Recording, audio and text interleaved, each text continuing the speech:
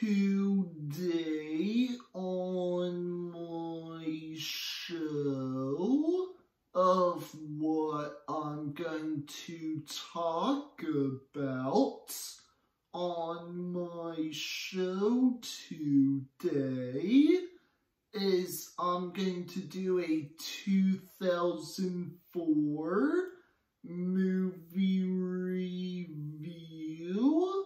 of what I just watched today for my first time is Eternal Sunshine of the Spotless Mind.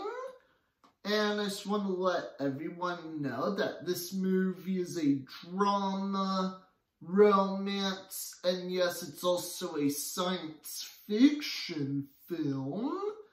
And I just want to let everyone know that this movie stars Jim Carrey and Kate Winslet. And my opinion review of what I think about this 2004 film, Eternal Sunshine of the Spotless Mind, is I thought the director did an amazing job of making and directing this romance sci-fi film, Eternal Sunshine of the Spotless Mind.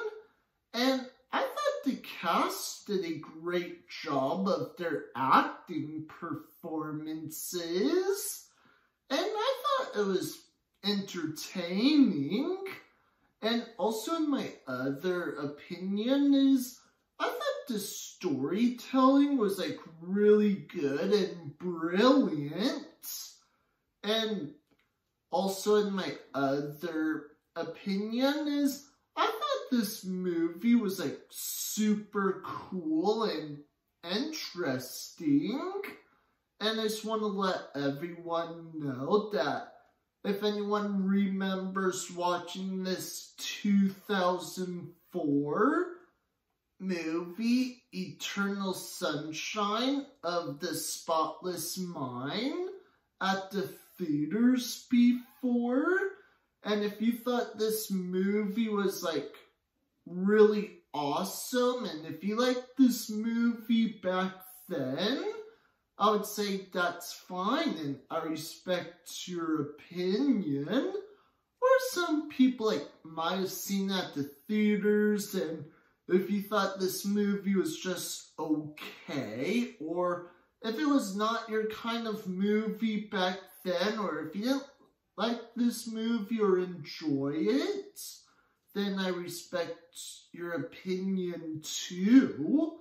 And also in my other opinion that, yes, I think this movie is also like really weird and creepy, but again, I still find this movie really amazing. And I just want to let everyone know that you are welcome to like watch this movie. Again, if you enjoy watching weird movies or something, and would I highly recommend it for like people has not ever seen this movie in general? I would say sure, but it's really not a comedy film at all. And before I go, I also want to make this episode for Jim Carrey fans.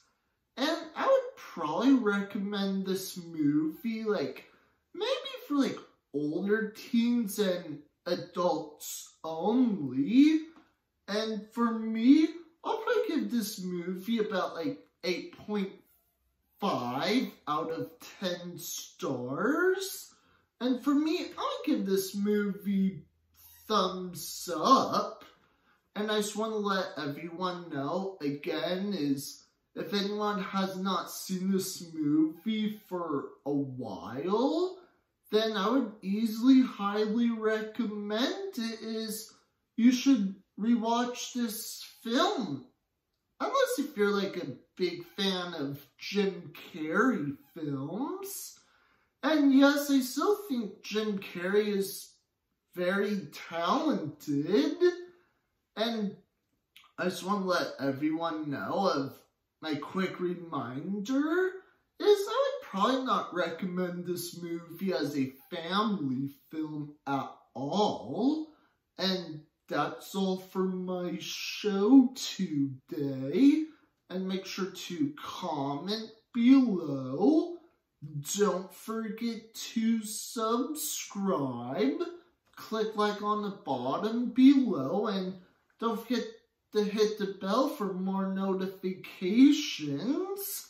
And that's all for my show today. And see you next time.